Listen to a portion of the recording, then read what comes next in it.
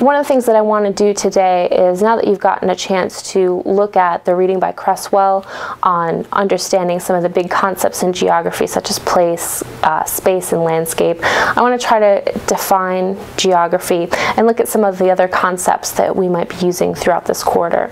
So first, to think about what geography is. Um, geography often is uh, confused by people. Uh, they often think it's geology, which is the study of rocks, but geography means earth writing. And so geographers are interested in where things are located in the world, why they're there, um, and how places relate to each other.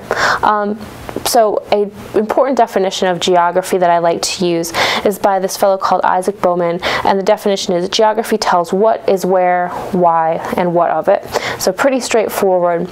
But the key aspect there is where things are located. Another definition of geography calls it a science that deals with the earth and its life, especially the description of land, sea, air, the distribution of plant and animal life, including man and his industries, with reference to the mutual relations of these diverse elements. Wow, so pretty much everything you can see that this is a very broad discipline, uh, but one of the key aspects of it, again, is where things are located and the relationship between those different types of things. So when we look at geography, there's sort of three key elements that are foundational to understanding it. First is the spatial variation of phenomena over the surface of the Earth. So again, where things are located. A second focus is on the ecological relationships between humans and the environment. And a third is a focus on particular places often talked about through the realm, uh, through the idea of regions, which we'll uh, focus on a lot since this is world regional geography.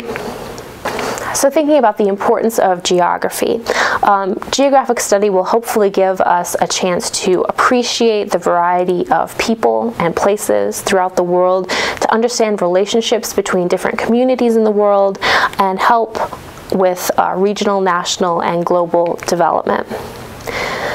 This image kind of gives you a sense of all the different aspects within geography. As we defined geography earlier, it was a very, very broad discipline. And so within this um, graphic, you can see geography broken down into a couple different realms.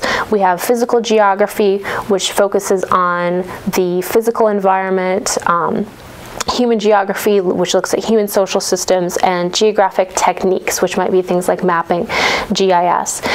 If you look here, hopefully you'll find some sort of overlap with some of the tools and skills that you need in whatever job it is that you do, or whatever it is you happen to be studying.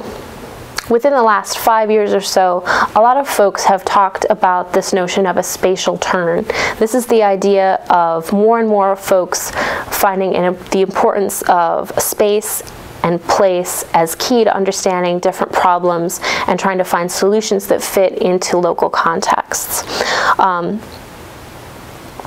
one of the key things then in the spatial turn is access and, and ability for people to use um, tools for spatial analysis. And hopefully we're able to build your spatial analysis toolkit as we go throughout the quarter.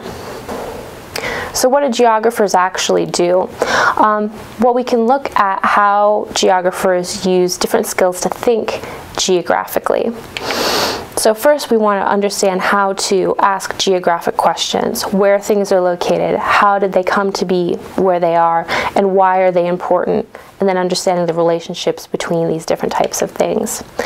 Next, we want to think about what sort of information geographers use. So data about locations, uh, looking at the human and physical characteristics of different locations, and then trying to understand the conditions and activities of people who live in these places you some of the images that you see on, these on this page are um, images from field work that's been undertaken by Ohio State geographers. So on the top left, we have um, field work in southeastern Ohio, trying to understand the distributions of forests. Below that, we have physical geographers who are, uh, have drilled out um, the core from the bottom of a lake to try to analyze that and see what sort of changes have occurred in climate over time. Um, to the top right in this picture, we have uh, an Ohio State geographer who's in interviewing um, a fellow down in Mexico about um, different sort of uh, political movements in that area. And then below that, we have an image that an Ohio State geographer took during her field work in uh, the rainforests in South America, trying to understand the relationships between indigenous people and um, resource extracting uh, companies such as um, oil developers. Next, once geographers have gathered this information, they can organize it in a variety of ways. One of the key ones that geographers use is visually organizing information into maps um, geographic information systems like you heard about in the video that you watched in the first week, um, graphs, other types of visual representations.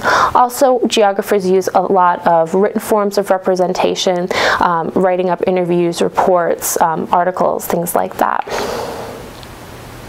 Now to analyze this information, geographers often look for patterns and different processes that are revealed in the information that they've gathered. Um, they bring together what they've found and try, try to sort of synthesize various explanations. Once we get to the point of answering these geographic questions, we can make inferences based on the information that we've organized, um, we can try to distinguish different generalizations from the information that we found and where these generalizations might apply and where they don't. And then often new questions emerge from these conclusions. So now that we have a sense of what geographers might do, I want to elaborate a little bit on some of the tools and concepts that um, are important in geography. In the Cresswell reading, we talked about, or we were introduced to ideas of place, space, and landscape, which are very important key ideas in geography. So one of the things I want to ask you to do is now you have these uh, definitions to try to be able to come up with your own examples of how to apply these concepts. So a place, a space, a landscape. And to move beyond that, here's a, a, few other concepts that are going to be important going forward. The first is the idea of maps. Now this is a pretty straightforward concept. Um, a lot of us use maps in our everyday lives, whether it's the old-fashioned paper maps or virtual maps that are on our smartphones or on our GPS, those sorts of things. We can think about a map as a graphical representation of a cultural or physical environment. Now here's a couple uh, examples of map images. Uh, the one on the left is quite obviously an artistic representation and not very useful if you were trying to find your way around Brooklyn. Um, the one on the right is a historic representation of um, people's it, from people's initial contact um, with the African continent and what they thought the geography of Africa looked like at that time, what sorts of resources people found important there.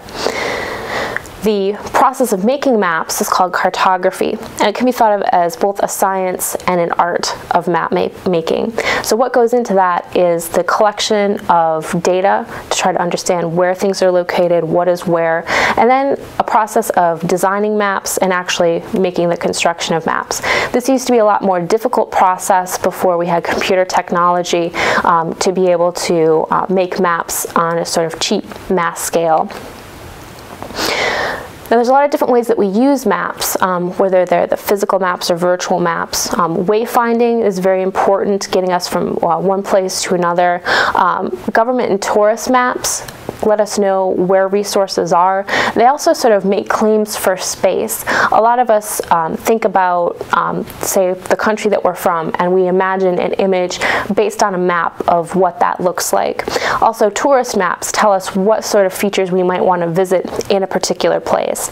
And then we also use a lot of virtual maps, and this kind of links back to the video that we watched last week. Um, so things like geographic information systems for map representations, um, GPS global positioning systems um, in our, again, in our phones, in our cars, telling us where we're going. And then we also use uh, virtual maps such as video game maps that, you know, sort of put us into a virtual world and help us find our way there. One of the important things to keep in mind with maps is that they're made by people, so they're a social construction. And the what goes into them then are the social relations that people have, um, all their biases, all their flaws go into map making. So you shouldn't think of them as sort of an objective reality, but uh, a process that's been made by human hands. And as I said, historically, the process of map making was often something that very few people had the, um, the power and the technology um, to do. So it was often something that was controlled by um, elites and often used to um, take control of space. So for example, um, drawing a line on a map and saying that this area belongs to your country when there's plenty of other people there that would disagree is a sort of act of claiming space through map making. Also maps have been used for things like surveillance. Um, so being able to tell uh, giving uh, sort of spatial information on what resources are available in a place so outsiders to, can come in and be able to extract those resources. Maps are also really important about telling you where you can and can't be. And we often grow up with uh, particular map visualizations that we see over and over again. Um, this one pictured here that's also shown in your book is maybe a different way than you're used to envisioning the world. Um, rather than seeing Europe in the center and a sort of North Pole, South Pole, uh, projection. This map uses the North Pole as the center and you see the continents spread around that. So a different way of seeing the world. And with this different way, you can understand um, Asia and North America as being you know, perhaps much closer to each other than you would with the typical map projection you might be used to seeing. Another example of how we might um, use map visualizations and represent the same thing in different ways um, is this map of the 2008 presidential election. We have the different states represented as red and blue depending on whether the voters um, went for Republicans or Democrats in the majority. And so with this, you see kind of a stark distinction between red states and blue states. But if we move on to this next map, um, what they've done here is rather than have a uh, stark red and blue um, uh, delineation between states, we have a sort of purple to show a sort of gradation. Um, in the vote rather than having it go one way or the other. And you see most of the United States is really purple rather than red or blue. So thinking about maps as a social construction, there's a selection process that happens. Uh, people decide what to show, what not to show. People decide how to represent things. Also important is thinking about how money relates to map making. Businesses uh, can make maps and use maps to try to draw people to their establishments, um, to target customers, things like that. And if you think about it as you use your smartphone for wayfinding, often um, if you search for things like food or restaurants in a particular area, the places that are going to pop up are places that have um, a relationship, perhaps a paid advertising relationship um, with the company who's uh, doing the serving of the mapping. Maps are also important as political symbols. They create a visual image um, of a particular country, they establish borders, and they also sort of separate us from them and give people a sense of identity.